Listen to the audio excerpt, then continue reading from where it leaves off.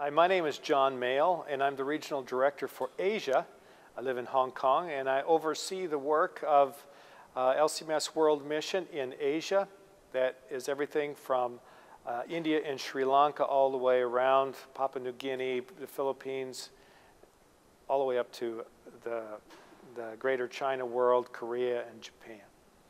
Uh, we have work going on in uh, 17 different countries. We have missionaries uh, that actually live in 12 different countries. Uh, the current focus of work in our region is uh, education, and that takes all kinds of forms. Uh, we have over 200 Lutheran schools in Asia with over 100,000 students. In Hong Kong alone, we have uh, 20,000 students, and we have two international schools in Hong Kong and in Shanghai. Uh, the other education piece that we, that we do is uh, education, uh, theological education. That's training pastors and, and uh, deaconesses and lay people to do outreach. We want them to become church leaders. We want them to become able and equipped to do the Lord's work as we do God's mission in Asia. Part of our strategy in Asia for helping to multiply the, the workers is that our education, whether it be education for in grade schools and high schools, or most importantly in our educating and training up of uh, church leadership, is to equip them to be uh, instruments of God working in His mission. So that each and every Christian uh, that's part of every church see themselves as mission outposts in which they then are able to go out and share God's news of Jesus as our Savior and bring those people into community with Jesus, into congregations. One of the uh, very, very exciting things that's happened in Hong Kong in the past year is we've had uh, GEOs, these young volunteers who have come over and served alongside of our teachers in the Lutheran Church Hong Kong Synod in the schools. And the schools have uh, responded overwhelmingly with, uh, in a positive way with uh, the work that these, these young people are doing.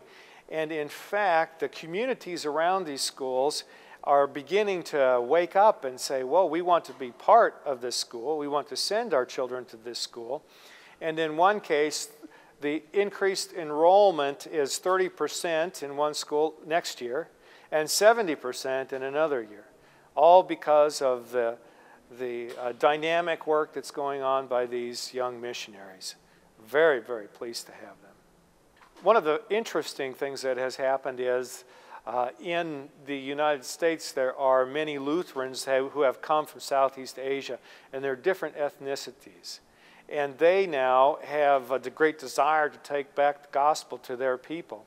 And the Hmong ministry, the Hmong Mission Society, is a good example of a U.S. based organization that has partnered with LCMS World Mission to take the gospel back to the Hmong people in Southeast Asia, South China, and other places.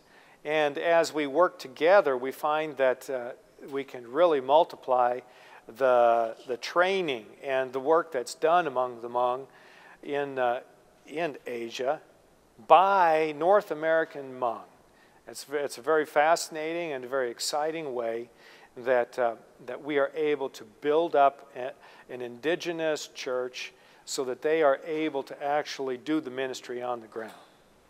One of the ways that you can support us, and I think the most important way, is to continue to pray for the work of, of the Lutheran Church Missouri Synod as, as we, as your representatives, uh, work overseas in, in ways that uh, hopefully are honoring you and honoring God with what we do and say, that we are building up those, those indigenous peoples that they can carry on the work and be part of uh, spreading the good news themselves.